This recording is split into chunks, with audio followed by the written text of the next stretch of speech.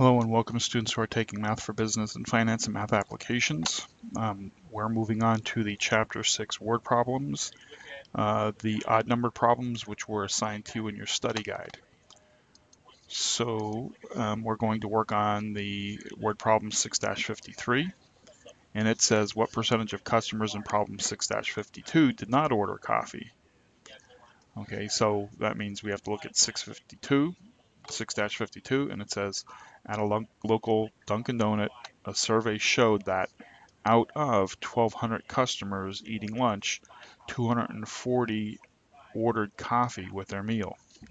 Okay so what that means to me is that I have 1200 customers who ate lunch and that out of that 240 had coffee. Okay.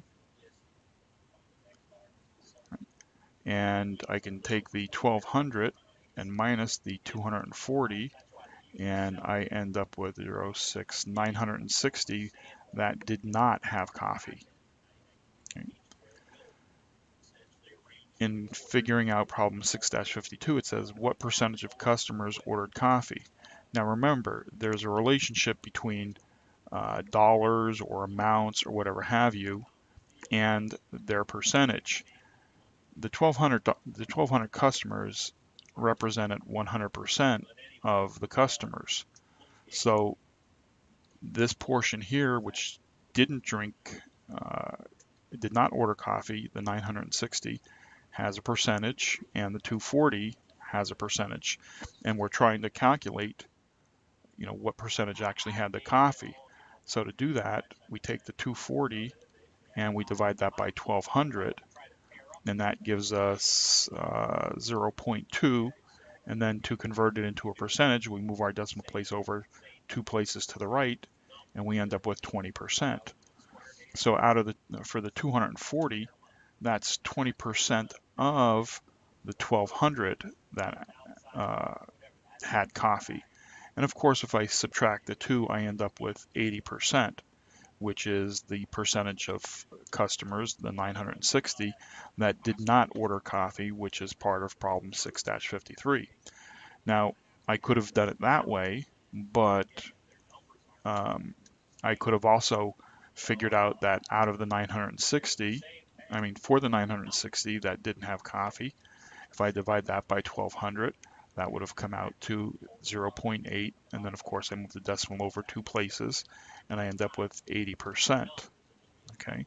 And so that's a, a, double check. So I could have done that problem both you know two different ways. It all depends upon what was being asked in the problem okay? Um, and it's also good for a double check because obviously if this portion is 20% and this portion is 80% it should equal to 100%, which is the 1200. Okay? All right, next problem. Uh, 6-55. Wally Chin, the owner of an Exxon ExxonMobil station, bought a used Ford pickup truck, paying 2000 as a down payment. He still owes 80% of the selling price. What was the selling price of the truck? Okay. So let's we have um, we have a selling price and we have a down payment and an amount owed. Okay, let's just call it owed. O for owed. Right, and we know that the down payment is 2000 okay. And it's telling us that the amount owed is 80%. Well, we know our selling price is going to be 100%. And the difference between the two makes that our down payment, which is 20%. 80 from 100 gives you the 20%. And since we know that our down payment is 2000, we can take the 2000 and divide it by the 20%. Now remember the 20%, well, let me do it this way, 20% I can convert that into 2000 and make the percentage a decimal. I do that by moving my decimal place 2 to the left, so I end up with 0.2, and I end up dividing 2000 by 0.2, and that gives me uh, a total amount of $10,000. Okay, so you see how I'm inferring this is going to be 10,000.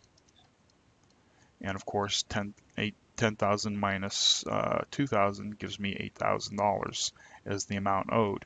And that makes sense because, you know, 10,000 is 100%. And if my uh, down payment is 20% of 2,000, then 8,000 has to be the 80%. And I could double check that by taking 8,000 and dividing it by 10,000 and cancel. And then that ends up with being 0.8. And of course, I move the decimal over two places and I end up with 80%. Okay, so the important thing to, to get out of the last problem and this problem is that there is this relationship between an amount or a dollar amount and a percentage, dollars or amount, and a percentage. Generally, you start out with 100%, and then because if this is if this whole thing is 100%, if you divide it up in some way, shape, or form, uh, shape or form, you end up with two parts, and both of those, of course, have to add up to the 100%. Um, and you can just see how that equates into actual numbers itself. Okay. Okay, let's see here. Problem 6-57. So the Social Security Administration announced that the following rates announced the following rates to explain what percentage of your Social Security you will receive based on how old you are when you start receiving your Social Security benefits. Assuming Shelly Kate decided to take your Social Social Security at the age of 63, what amount of social social boy, I'm having a hard time saying it. Social Security money will she receive each month, assuming she is entitled to $800 per month?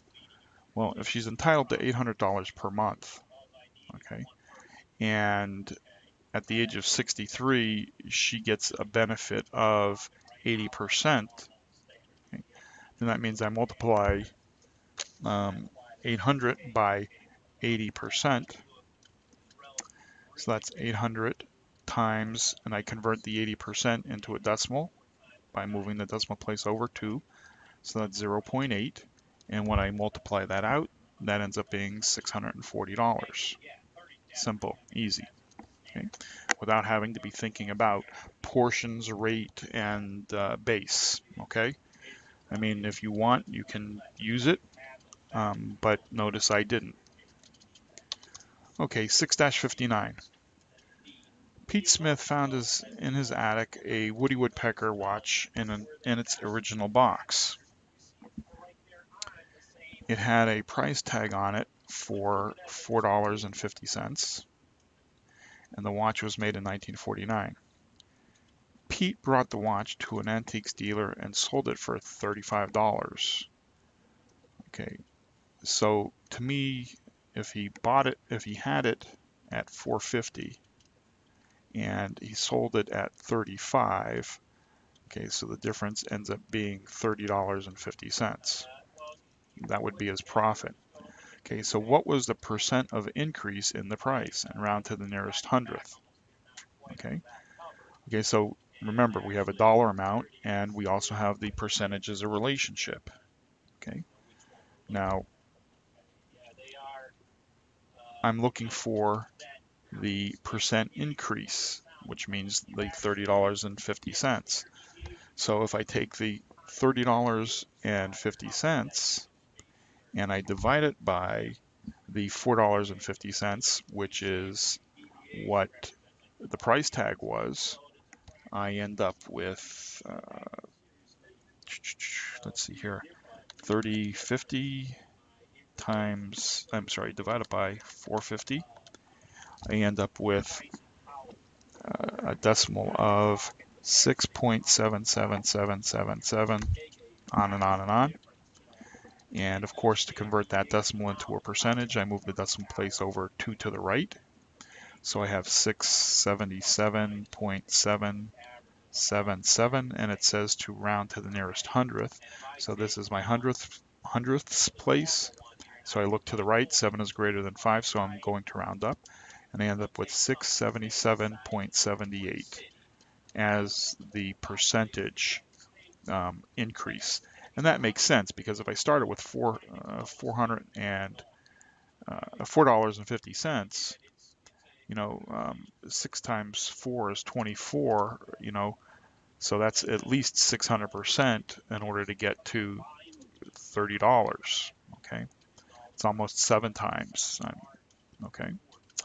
Um, it just it's just a round mental, you know, in the back of your head, making sure that you think uh, your math is correct. All right.